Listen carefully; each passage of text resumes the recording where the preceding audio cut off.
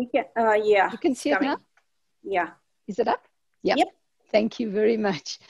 Um, it's a wonderful opportunity to address you today, and I, I, really thank you. I'm speaking on behalf of the Clinical Nurse Practice 2 team, which consists of Tracey Simes, she's the, the leader of this unit, uh, Ellie Cutmore, and myself, I'm Danielle. Now, Clinical Nurse Practice 2 is very much a hands on practical nursing unit. It's a second year subject, and it involves 120 hours of clinical placement where our students go out to our industry partners, to the hospitals and the medical centers, and they work alongside their future colleagues. But before we can allow them to go, they have to do 24 hours of skills training on campus. And that takes the form of three days of what we call residential schools held in our um, laboratories. Part of this um, on campus training includes a medication calculation competency test, we have to be sure that our students know how to work out medication doses, um, infusion rates, things like that. So the test is a digital test. It's done online. It's hosted by an external service provider called ItelliLearn. And our students know it well because they use it from term one, first year, right through their bachelor's degree. We always have it invigilated. It's held in our computer labs on campus, and it's an open book test. It includes 20 questions that they get from a very large bank of questions. And we, we ask them before they come on campus to go into our TeleLearn and practice the test. They can practice it as many times as they like because they constantly get new questions. But when they sit the test, they can only have three attempts and they must score 100% to pass. As soon as they complete the test, they get a time, date, stamp certificate, which they upload into Moodle, and we then verify that indeed they have finished the test. So the situation in um, term one of this year, we had just over 400 students enrolled in this unit, and we were in the midst of giving them our on-campus sessions when COVID hit. As a result, we ended up with three cohorts of students, three groupings. The first group went through the 24 hours on campus and they did their tests. They were ready to go out on clinical placement. The second group, they did two days on campus, including this medication test. And then we sent them home with another eight hours to do online. And then they went off on their placement. The third group of students never got to come on campus. 112 students that were unable to do this um, on-campus training. So we had three options for this group of students. We could advise them to withdraw from the unit, which would mean it would set back their degrees by another year. Or alternatively, we could defer the on, um, on-campus residential school in the hope that by term three, things would be normalized and we can allow them back on campus. So we just delay their clinical placement. Alternatively, we could go online, which is what we opted to do. The problem, of course, was how do you take an invigilated test online when the students are off campus? Well, we gave it a go, and the results were really astounding. We were so surprised. Now, what you're looking at are our two groups of students, our on campus group and our off, sorry, our off-campus group of students. We're looking at the number of attempts that they needed to pass the test.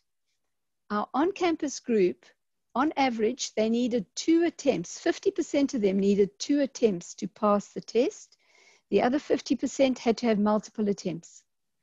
Our off-campus group, 82% of them passed the test first time round. But more worryingly was that our on campus group, the group that were in the lab with us present watching them, 12% of them had more than three goes at passing the test. So technically, they cheated. Whereas our group that were sitting in their homes off campus, none of them cheated. We also found a very strong, but of course negative correlation between the number of practice tries and the number of attempts they needed the more they practiced, the fewer attempts they needed to pass the test, which is quite natural. So how do we take a online test off campus and still invigilate it? Well, we found, first of all, with the preparation, communication was extremely important. These students were in a high state of stress. They didn't know what the future was holding for them. We decided to take the test via Zoom and we kept an open line of communication. We kept them informed using emails, online forums, um, and phone. We phoned them as well. Next issue was, of course, academic integrity. How do you maintain it? So we compiled an academic integrity agreement, which is just a piece of paper, but still, it told them of the importance of maintaining this integrity. And we added to the agreement that they had to have a photo ID with them when they took the test, and they needed to have a functioning camera. We had to be able to see them while they sat the test. We organized four Zoom sessions because we couldn't look after 112 students in one Zoom session. The students could elect which Zoom session they would uh, take the test in, and they did that using um, shared doc surveys. The minute we knew, and we organized to have three teachers present for in each of the Zoom sessions. Now, as soon as we knew which students were attending which Zoom session, we compiled an attendees list and we used photo IDs, which we got off AIMS our um, university management system. Most of our students are external students and we simply wouldn't recognize them visually, so we needed those photos. Now, during the test, we opened up the session about 20 minutes early and there was a teacher present. We were there to calm the students, make sure everybody was logged on to iTellylearn, that everyone had a functioning camera. We took a photo roll call when we started the test, they had their cameras on and we recorded the session. Recording the session was just so that we had a permanent record of the test in case there was some sort of an issue later on. We developed a support system for these students. That was very important. Some of the students, the line would drop out or they got a medication um, calculation wrong. What we did is we dis uh, enabled the private chat with between participants, but we allowed them to chat to the host. So the student would then send a message to the host saying they needed help.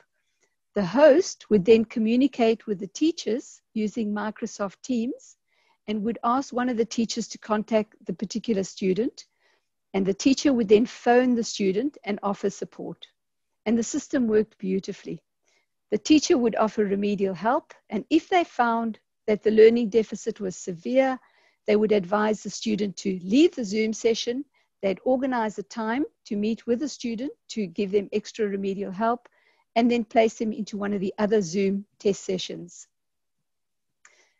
To verify whether they had completed the test, as soon as the students finished the test, they put their name in the chat line. And of course, a timestamp appears next to it. And then they would upload those time, date stamped certificate into Moodle. And we could then correlate the time uh, in the chat line against the certificate. So we knew they had done their, their test during the Zoom session. To gauge success, student feedback was really important to us. And the feedback we got was overwhelmingly positive. The students said they felt well supported, they said they were less stressed. They were working in their own environment on their own laptops. The only negative feedback we had was a couple of the students had internet issues. The lines were dropping out, of course, but it was really no more than a half a dozen students.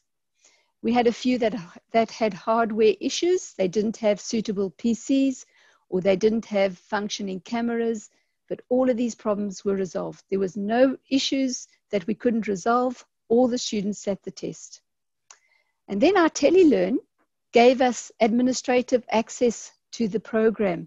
So we were able to go into the program and we were able to look at the students' activity online. We were able to ascertain how many times they had practiced, how many attempts they had. That's where I got those graphs from. And we were also able to see if the lines had dropped out we could we could verify that because they didn't get the question wrong yet they stopped the test. So we were able to ascertain success that way. So the results were that this is directly from the graph that you saw earlier. The on campus group, on average, they needed two attempts to pass the test, whereas our off campus group, they needed one attempt, 1.2 on average, to pass the test. The on campus group, they practiced about 2.2 times before they sat the test. Whereas our off campus group, they were a lot more relaxed, they had more time, they practiced more than five times before they sat the test. And what about the staff time involvement? Our on campus group, 400 students, that's our total cohort. They took two attempts to pass. Our student to teacher ratio is 16 students on campus to each teacher. That comes to 50 hours that it takes to get the whole cohort through the test. Sorry, our off campus group, 400 students, we took the whole cohort again. They took 1.2 attempts to pass. We had three teachers present in every Zoom session, but we had a maximum of 40 students per Zoom session. Comes to 36 hours.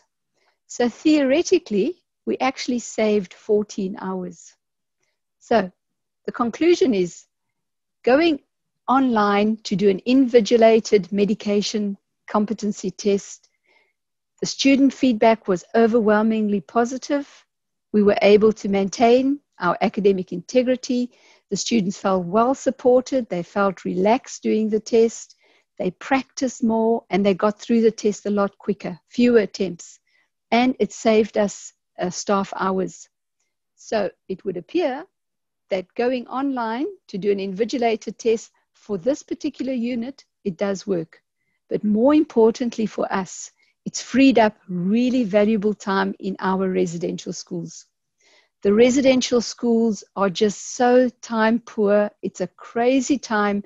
If we can take this activity out of the residential school, it will free up an afternoon, which we can better use to teach our, our students really valuable skills. That's all I have. Thank you. Thank you very much, Danielle. That's wonderful to hear of your positive uh, experience in your unit and such a seemingly difficult task, really, you know, applying invigilation and such crucial um, assessment as well.